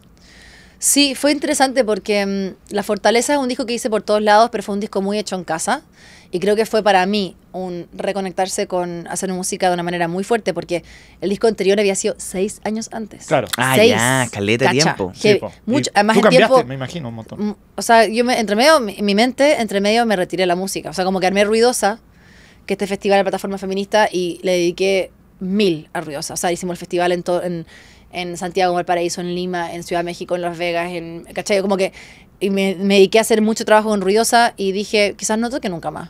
Quizás Ah, no ya, sea sí músico. llegaste como a Sí, esa- porque fue una combinación de diferentes cosas. Por una parte, una cosa como interna, real, mental y emocional, que estaba cansada, estaba como esa cuestión que le dicen como el burnout, como Claro, que claro. estaba, no estaba entendiendo cómo funcionar mucho, estaba teniendo mucha ansiedad ante tocar, mal, a tal punto que estaba, No lo estáis pasando bien. o sea, me di cuenta que nunca lo pasé tan bien tocando, hasta ahora que lo paso bien, pero ahí ya estaba pasándolo mal, mal, Claro, o sea, era como una cosa así del terror, era como inminente, venía el show y estaba así días pensando, viene el show, viene el show, viene el show, ah, está arriba del Ah, escenario, y aparte sí, culpable, porque las personas estaban ahí, estábamos, el equipo estaba ahí, y después yo era la que estaba arruinando todo, ¿cachai? Claro. Entonces, una combinación de eso con una pérdida de sentido y orientación artística. Ok. Entonces, la fortaleza que hice en 2020 vino, yo creo que a reconectarme con la convicción de hacer el proyecto, ¿cachai? Ya. Y ese disco, em, que le fue súper bien, que fue muy bonito, muestra ese proceso también. Es como atravesar, parte con una canción que se llama Nunca quise irte, que es como una canción pidiéndose perdón a una misma, y termina con La Fortaleza, que es una invitación a identificar que uno es fuerte y que es capaz, Claro. ¿cachai? Entonces, en todo ese trayecto. Y el disco siguiente lo hice en Los Ángeles, lo hice en pandemia. Y lo hice con un productor con que siempre quería trabajar, que se llama Sebastián Cris, que es un productor argentino gringo. Ya. Argentino, criado en Argentina, que perfecto. No, no, es que a mí las cosas claras con la nacionalidad. A mí no Por me. supuesto. Sí, por favor. Cada Sí. persona que nombremos, nacionalidad, root, Sí, y para total. saber bien. Creo que dónde tocó en el. Bellavista de Argentina, donde él Eso, viene, no sé de qué perfecto. ciudad viene. En Palermo, Bellavista. Claro, en Palermo. Y em, trabajamos juntos en un proyecto de Elvis Costello, que me invitó a cantar y a estar con, en este Elvis. tributo, claro. Y Y estaba él ahí. Elvis, en- no, no, no en pandemia, pero por FaceTime. Ah, ok. Ah, ya. Fue bacán. Con su gorro y todo. sí. Co- Sí, además que estaba como, justo cuando conversamos estaba como en un auto y él como, Francesca, como, ¿cómo estás? How is your family? No sé qué, y yo como, bien y tú, Elvis, ¿cómo estás tú? Cuéntame de ti, así. Bueno, eh, y, y entonces nos conocimos en ese proyecto, nos hemos conocido bien porque él produjo La Cami, el primer disco que también escribí con Cami para ese disco, y él me dice, ¿sabes qué? Me encantó trabajar contigo, tienes canciones nuevas. Y le mandé una chorrera canciones y me dijo, yo creo que aquí hay un disco. Ya. Y ahí de repente fue como, hagamos el disco en pandemia. Y fue un proyecto muy lindo porque es un disco como de transición, como de salir de un lugar muy oscuro y muy así. Más que como que bueno, la- la- el arte y todo libre. es mucho más alegre, mucho más luminoso. Sí, el disco sí, gráficamente, sí, po. visualmente. Es un disco más luminoso, pero como lo hiciste en pandemia. Lo hice en pandemia. Sí, porque son como la cartas única de- persona que tiene un disco Sí. luminoso en pandemia. Sí, en Como- verdad sí, porque sí. era como no echarse a morir, ¿cachai? Ya. Mm. Era como, por ejemplo, el primer single que era Castillo Cristal era como una canción que hablaba de lo frágil de las cosas, pero de- desde un lugar como igual medio esperanzador y colectivo.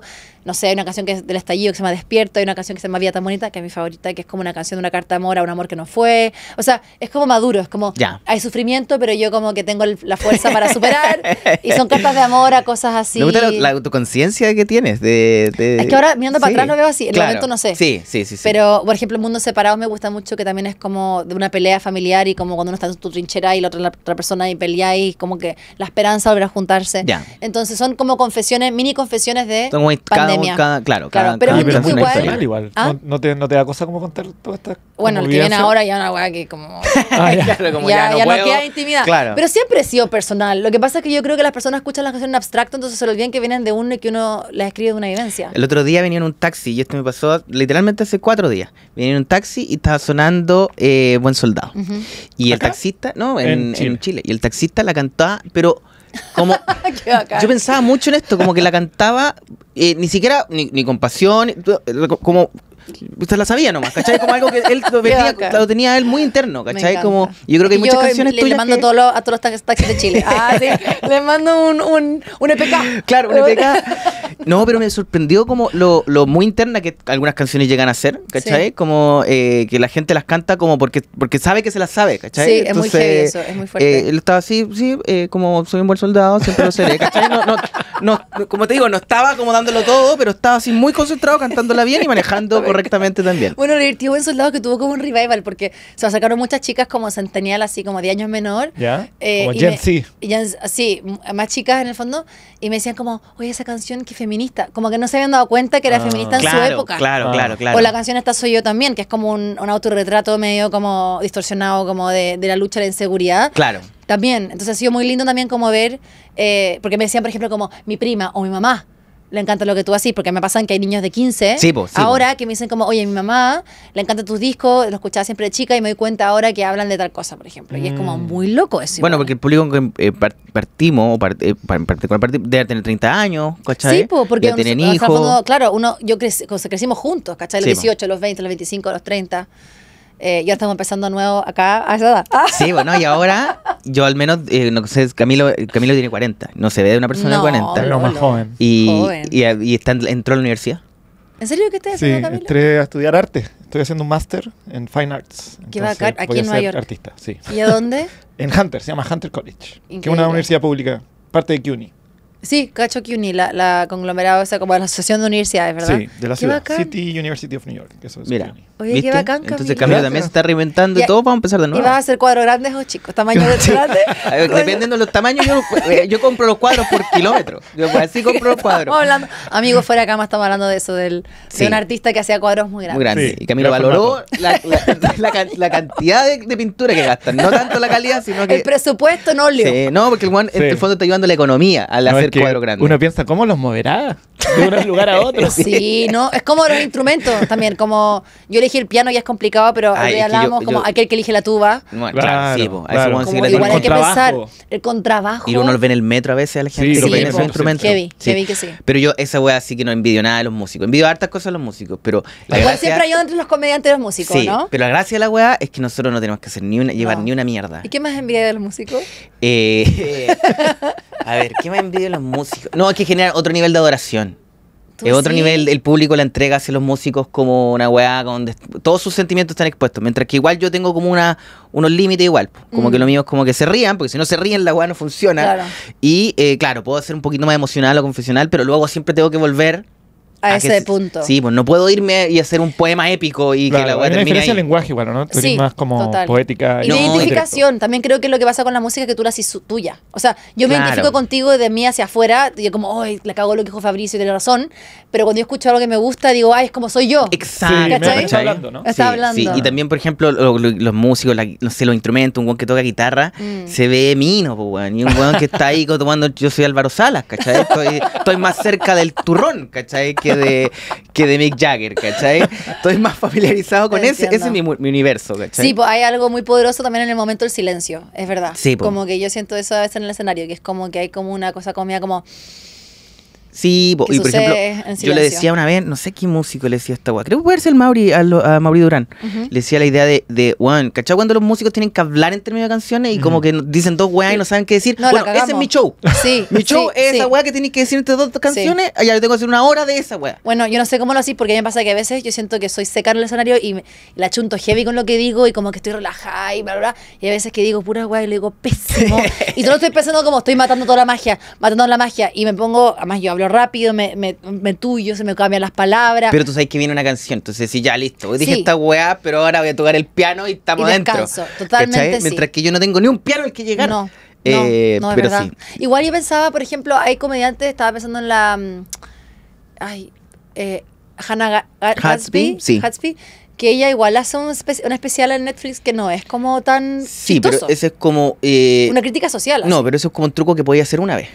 Cierto. ¿Cachai? cierto. Es como ya, es bacán. Lo hizo una vez, de hecho, tiene dos especiales más donde ya no lo puedo hacer de nuevo, porque, weón, podéis hacer una weá que es como groundbreaking, decir una weá sobre la- el arte de la comedia y como cuestionar el concepto y la weá. Una vez, Una vez. ¿cachai? Sí. Entonces, bacán, pero sí, de hecho, como, como que había muchos debates si este de verdad era stand-up o no, yo creo que lo era, pero Ah. en el fondo igual era una, era como ya, una carta sobre el formato de stand-up, pero luego tuvo que volver a hacer stand-up, porque Claro. es la weá que es como... Esta es la chica que hablaba de. Picasso, ¿no? Claro. Sí, Ah. porque tiene ahora la exposición, de hecho, Sí, Nueva la. Viste exposición que la odiaron, odiaron. Le hicieron odiaron. mierda a la ¿Ah, exposición. sí? Sí, onda, Ah, muy malas críticas de todos lados. Es De que está todos lados. raro igual. Es que era, sí, el formato estaba muy raro porque quería como mezclar su co- comedia con obras de arte. Yo sé que no hizo la muy pega. poco Picasso bueno, vamos a hacer un contexto igual. Eh, a Hannah Gatsby es- tiene unos chistes sobre que Picasso era un saco wea. Sí. Y eh, eh, creo que estos son como los 100 años de Picasso, algo Sí, así. Entonces hay como una serie de exhibiciones. Y una de las exhibiciones en el, el Museo de Brooklyn fue Hannah Gatsby es una curatoría y se llama como Pablo-. Pablomatic. Pablomatic. Ay, no, se llama así. ¿Así Sí. se llama? Cringe. Y creo que todavía está así, un poquito cringe. Y claro, parece que es como la weá, esta es cuatro cuadros de, de- De de Picasso. Picasso, con unas como chiste abajo y al final como un video de Hannah Gatsby con su chiste Contando- de, de Pablo Ah. Picasso. Entonces la weá como que más, que más que como que sea mala porque está mal, es como floja. La, Sí, la- estoy de acuerdo, porque en el fondo da la oportunidad para igual remirar interesante, y sí. resignificar como el tema que, lo, que, que está muy relevante siempre ahora, ¿verdad? Que es como el tema artista, obra artista, ¿verdad? Y la relevancia del contexto de ese artista y, y cómo se resignifica y contextualiza con la mirada de hoy. Claro, y eso claro, es súper claro. interesante. Sí. Cuando yo escuché sobre esta exposición dije, ay, qué interesante, porque yo me imaginé algo más serio, no chiste, sino que dije como la curatoría en función de su mirada, No, que es no, súper crítica. no hizo la pega, como siento yo. Mm. Ahora también... eh, yo Quizás creo- estaba muy estresada. Mandó un muy- par de textos por WhatsApp y listo. a última hora dijo ya ahí está, impriman Gracias, esto. Brooklyn. Ah.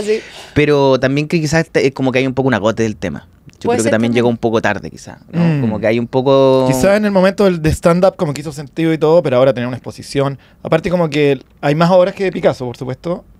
Y, O sea, y- sí, sí. y decían que las obras como que también están como muy fuera de contexto, Mm. como que no, no, onda, son, hay súper buenas curadoras feministas en el Brooklyn Museum, que como que están medias desaparecidas, ¿cachai? Eso que como que el tema que... Sí, pues que a Claro. Es- eso. Claro, era como para. Sí. Complicado. sí. Porque es interesante como la oportunidad de la reflexión, así como decir, es como el fenómeno, lo que el Woody Allen, ¿verdad? Es Claro. como, Sí. no sé, o todos, en verdad, casi Sí. todos los hombres de la historia. Todos. Sí. Ahora Entonces, podríamos hacer una... interesante. Podríamos hacer un Pablo Matic con Neruda, ¿no?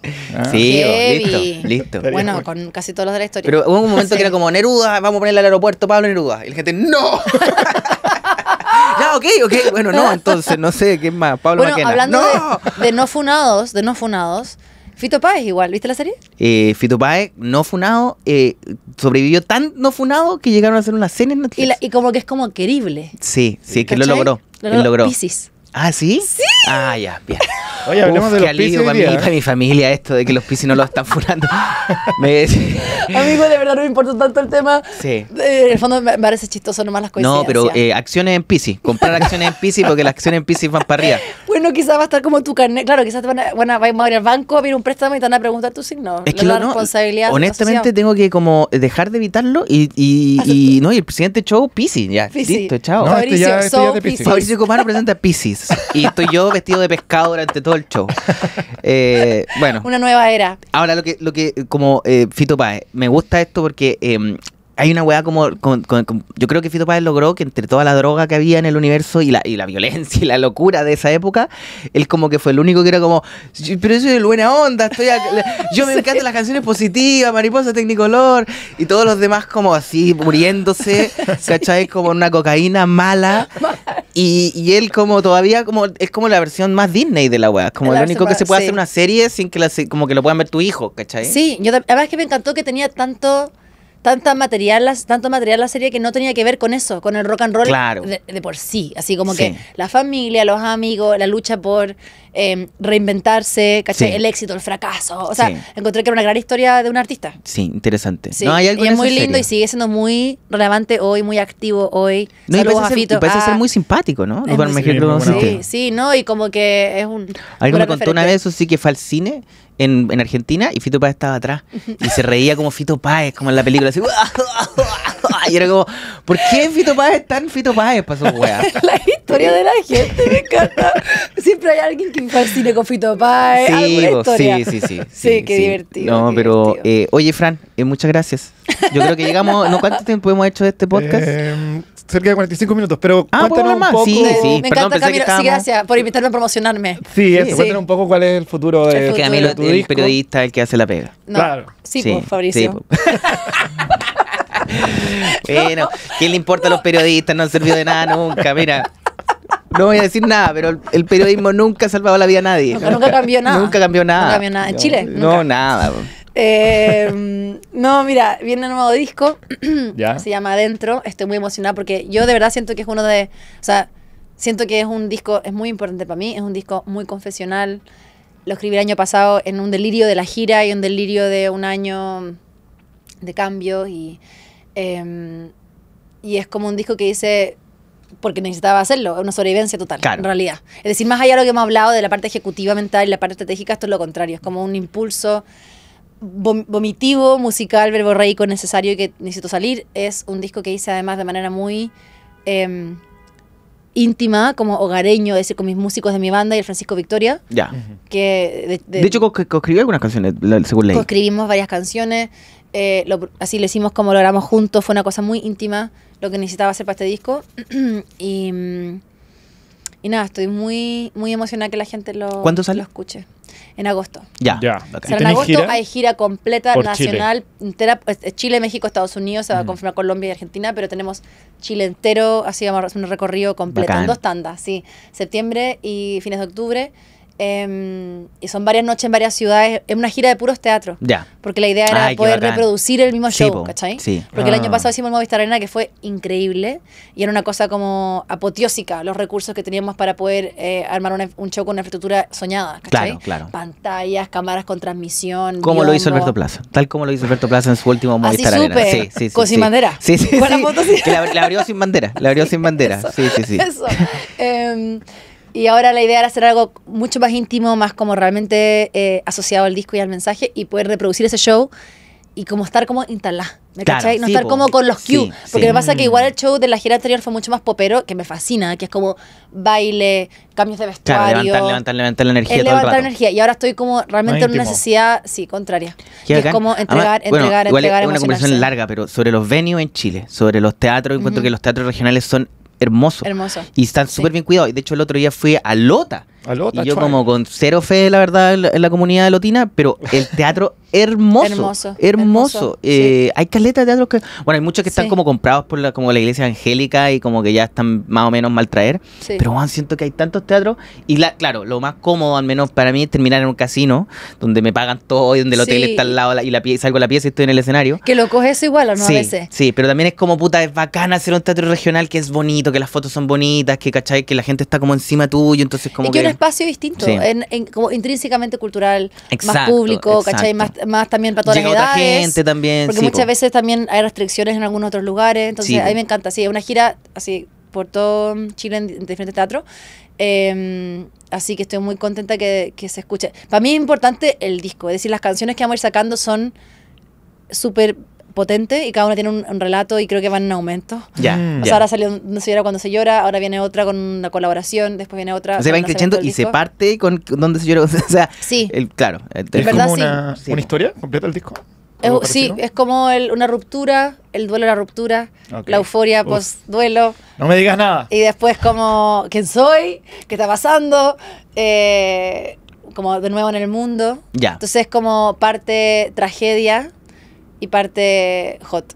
Ya, perfecto, Ah. claro. como Una como- liberación. es un poco eso igual, Sí. ¿no? Y de alguna manera es ese viaje y, mm, y todo con mucho piano. Es muy orgánico el disco, tú lo escuchás y es como que está lleno de errores en el buen sentido, Claro, como claro, claro. respiraciones crujientes, así como, como que dejaste todas esas cosas que antes tuviste como vuelto loca por son- cortar. Sí, y- y una muy quirúrgica, ¿verdad? Claro. Y en el fondo hay muchas voces que son maquetas, por ejemplo, como la Claro. primera toma en pijama en la casa La raja. y quedó.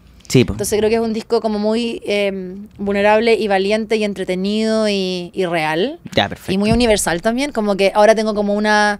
¿Cachai? Cuando estés como en un tema mono, así monofocal Ujú. y quieres hablar de ese tema todo el rato. ¿Has Sí, sí, sí, sí, sí. Es como eso. Entonces Ah, estoy ok. así como... O sea, uno quiere hablar de ese tema hasta de querer estar cansado de hablarlo y como Claro. para sacárselo de encima. Claro, claro. Sí, y, sí. y también por la curiosidad, como de los procesos Claro. de las otras personas, sí, ¿cachai? Sí, también. Entonces viene eso eh, con la gira y, mm, y nada, pues y el relato de, de ese disco completo. Así que estoy Ya, bacán. ¿Y eh, emocionada. devuelves a México? ¿Cómo a instalarte en México? O Sí, ya? me voy de acá, a, vengo de Miami, me voy a México, estamos con un par de conciertos en México y luego empezamos una gira por Estados Unidos, como tú, por así Atlanta, Filadelfia, bla, bla. O sea, no Filadelfia, no. Atlanta, eh, Houston, Dallas, bla, con Jesse y Joy, Ya. que está súper lindo. Y luego vuelvo a Chile, hacemos Chile, México, Ujú. y ahí combinado México, Chile, Argentina hasta el resto del año. Mira hasta qué bien. como el 15 de diciembre, sí. ¿Tú cuándo, empecé, tú cuándo terminas de girar? No sé, no sé, como, o sea, sé que como que empieza ahora, sé que tengo unas fechas como ya las últimas están como en marzo del otro año, pero de hecho cometí un error, que es no como sentarme a verlas bien, como que me llegan y digo sí, y después hago voy lo mismo. y después veo si es que topan con dos weas más, si este- Wow. ese día hay un cumpleaños, Yo hago lo mismo. pero digo como sí, sí, sí, sí, y luego tengo que sentarme como a mirarlas pa- y me da mucha ansiedad ahora porque no lo he hecho, pero sí, eh, yo sé que tengo millones de, de, de shows y lo bacán es que bueno, voy a estar como también viajando por Estados Unidos y espero que algunos chilenos se personen, así que ¿Y ese es mi plan. México también o no? Mira, ¿O Estados Unidos, Chile? s- No, Estados Unidos, Chile. Como que en algún momento quiero ir a Argentina y todo, pero sí, no sé, es como que, que quiero estar en mi casa igual. Bueno, voy a Panamá Sí. ahora también. Voy a Panamá. Wow. Oh. Te entiendo, uno quiere ser dos personas. Sí, po. A veces, ¿o no te Sí. pasa? O sea, cuando estoy Muy en mi casa, que no quiero estar en mi casa. No, digo como, como you're on fire, pero también eres doméstico. Sí, porque quiero Como a mi casa como mientras estoy no en y mi casa. Sí, Netflix. sí, exacto. Sí, te entiendo muy bien, Sí. amigo. Pero eh, lo logramos. Ahora Lo sí. ¿cuántos minutos llegamos? Eh, cerca de una hora. Ya, 51. Esto es, ¿cuánto, cuánto es una hora? Es que ¿Quién no, es la no- es que no te- más- nos sacan de acá después. Viene otro. no, no. ¿Y con quién es la persona con que más han, han hablado en el podcast? Yo creo que siempre alrededor de una hora. Sí, es que sí, no, no me gustan tampoco los podcasts largos, como que siento que después sea, empiezo yo- yo a latear. Rogan, chao, no, tres está horas y media. perfecto, pero yo me empiezo, yo empiezo cuando escucho podcasts muy largos, los siempre ¿Y nunca cuándo los escuchas escucho. podcast? ¿En qué momentos de tu vida? Casi siempre. Estoy como Pero- cuando hay cualquier silencio estoy intentando rellenarlo con un podcast. Mm. En el gimnasio escucho podcast. Sí. De hecho, algo que me, me he dado cuenta que me gusta mucho, y te lo he contado, Mm. eh, escuchar eh, noticias de, pero de derecha. O sea, de, o de Ah. gente que opina lo contrario a mí. Y tú así, ¡ah! Y como que hago más ejercicio por la rabia que me da. eh, pero te Claro. juro que funciona. Así como que escucho. Oye, La agricultura, hablemos ese. de off. Eh, ¿Cachai? Como que escucho de verdad información privilegiada. Pero radios de Chile me contaba. que sí, casi siempre Radio. Duna más que nada. Las dunas. Escucho Radio Duna. y corro en la tratadora escuchando a Nicolás Vergara. Como que ese es mi, sí, ese es mi ejercicio. Me encanta que te empoderes, te activa. Sí, también me gusta porque es como que eh, me carga escuchar como guanes que opinan igual que yo. Porque como que siento que estoy perdiendo el tiempo, ¿cachai? Sí, Porque yo ya, ah, yo, yo ya sé eso ya. Si yo ya Claro, digo eso yo, mismo. hago eso porque yo escucho podcast al revés que tú lo escucho en momentos como que estoy haciendo algo que necesito compañía Ya. y quiero identificarme con las personas que estoy escuchando. Sí, yo Entonces, de hecho como no que me escucho acompañan. mucha comedia ni, ni podcast como muy alegre, sino que siempre estoy escuchando como, no sé, hay uno que se llama eh, eh, Honestly, with Barry Weiss. Y una mina que se fue del New York Times Ah, ya. y que como que porque estaba muy woke. Entonces como que habla así, no Oh sé, eh, hablemos de... Más woke que eso. No, está como contra lo woke, entonces está así como, eh, no sé, hablemos de como los niños transgénero, como a qué edad deberían en realidad poder cambiarse de género. Wow. Y yo digo, igual, interesante para escuchar otra wea, Sí, ¿cachai? Como a ver qué dicen Por estos supuesto que hay que escuchar todo, sí. Entonces igual, no, repito, como que me, y me- también me, a veces me enoja o me motiva y estoy como esto, con... pero yo creo que es una weá como, por ejemplo, de niño, yo mi papá siempre lo veía peleando con la tele, ¿cachai? Como ver las noticias y estar, este conche, Sí, su madre, de total. nuevo este weón. Total. Y siento que yo ahora lo mismo escuchando el podcast. Y todo hablando al cielo. Estoy ya, Matías del Rey, la concha, su madre, de nuevo, diciendo esta estupidez, Claro. weón. Entonces estoy como así todo, el- to- to- todo, mi... Claro. eh, esos son mis podcasts Sí, eh, cacha perfecto. Eh, pero bueno, en, en general también, eh, puta, es, es tanta la oferta de weas que es como Sí. me agotador encontrar que, que escuchar. Pero sí, ah, ya me, me, me- me repito un poco los patrones. Y, y pero me gustan mucho los podcasts y, y nada, pues muchas gracias por venir al nuestro. Gracias por la invitación. Qué emoción estar contigo en Nueva York, Sí. con ustedes, aquí con Camila. En una Muchas pieza que podría estar en cualquier lado. Sí, pero claro, no- ni vemos Esto No, no, está sucediendo en Nueva York, chiquillos. no Tapamos las preocupen. ventanas. Estamos en Bellavista. Sí, estamos en Bellavista. Porque siempre estamos en Bellavista. Siempre. Bellavista de corazón. Sí. Bueno, Ya. muchas gracias, Fran, por venir. Gracias a ti. Amigos, amigos, amigos, amigos, amigos, tengo una muy buena noticia porque tenemos un gran auspicio que se une a la familia Escápate de tu casa y se trata de Global 66. Global 66 es una aplicación que puedes utilizar en cualquier lugar del mundo y puedes mandar divisas de un país a otro sin costos ocultos, sin que te hagan la trampa. Sí que te haga la trampa el banco. Así es, con Global 66 todo es transparente y además es fácil de pasar de una divisa a otra. O sea, si un primo ahí está todo cagado en Alemania, necesita plata, ¡pum! Global 66. No sé, pues hay un mexicano que te debe plata por una cuestión que prefiero no saber, ¡pum! Global 66. ¿Qué más fácil? No, no hay costos ocultos, está todo en tu teléfono, es realmente muy fácil de usar. Te vamos a explicar más cómo funciona próximamente, pero primero queremos agradecerle por ser parte de este podcast. Así que bienvenidos a la familia, bienvenidos Global 66. Ahí pasaba la Fran, eh, muy bonita entrevista, muy simpática, muy amable, como que ilumina el ambiente. Sí, y aparte. Es como una ampolleta. una ampolleta musical. Yo diría que ella es una ampolleta. Eh, Viste que la gente dice, no, es como una estrella, es como una... No, yo diría que es una ampolleta. Una ampolleta de, no sé, dos- 220. ¿De luz cálida o luz fría? No, de esas que ahorran, de ahorro. De las de ahorro. Buena. Eh, simpática. No, yo te iba a decir que ya parece que es algo que hacemos siempre, que la gente viene y se relaja, nos cuenta cosas que no habla con los otros medios. Parece ¿cachai? que sí, parece que logramos algo, una intimidad, puede ser también eh, lo que le echamos al agua. Pero la gente, el M que le ponemos al agua, pero la gente nos cuenta su, su- con tranquilidad. No se siente una entrevista como de, como, como que te vamos a cagar. Yo No, creo que eso po. puede ser. No, pues, Bueno. no saben nada, la pauta No que tenemos. saben nada, weón, que por debajo estamos mandándole un link a eh, Chile, Chile Poder, no, ¿cómo se llama? Hay uno que se llama como chilenews.cl y a. Lima Limón. Oye, eh, amigos, este sábado estoy en Pittsburgh. Yo sé que la mayoría que ve este show no está en Pittsburgh, Mm. pero si es que tiene un amigo, si es que han ido o si es que están ahí, Pittsburgh. Voy a estar eh, haciendo stand-up comedy, mi show de una hora en inglés. Eh, no me acuerdo cómo se llama el local, pero lo vamos a poner aquí. Y si no, Linktree eh, en mi Instagram pueden ver todas las fechas. Luego voy a estar en Oxnard, Oh, en California. Así que Oxnard, sí, Ese no lo conocía. es al lado de Los Ángeles. Está al ladito. Eh, Oxnard es un club que se llama Liberty Live. Es precioso. Espero verlos ahí. Y también Washington, D.C. Ese queda cerquita. Es un salón que se llama 808. 808. Eh, puta, de verdad, estoy haciendo los primeros shows en inglés fuera de Nueva York, Viajando por dentro de Estados Unidos. Y eh, verlo ahí de público sería maravilloso. Tenemos uno en español también. Ojo, Boston. Eh, ¿Y voy la otra Boston? semana. ¿Y Boston? Y Boston, ahí estoy, la otra semana. Eh, así que nada, pues empezamos esta pequeña gira interna por Estados Unidos. También nos quedan un- una- algunas entraditas para el Caupolicán, para el, para el 4, 4 de agosto, que es las últimas, últimas, últimas. Eh, eso es lo único que voy a hacer en Chile. Luego de ahí no nos vemos más.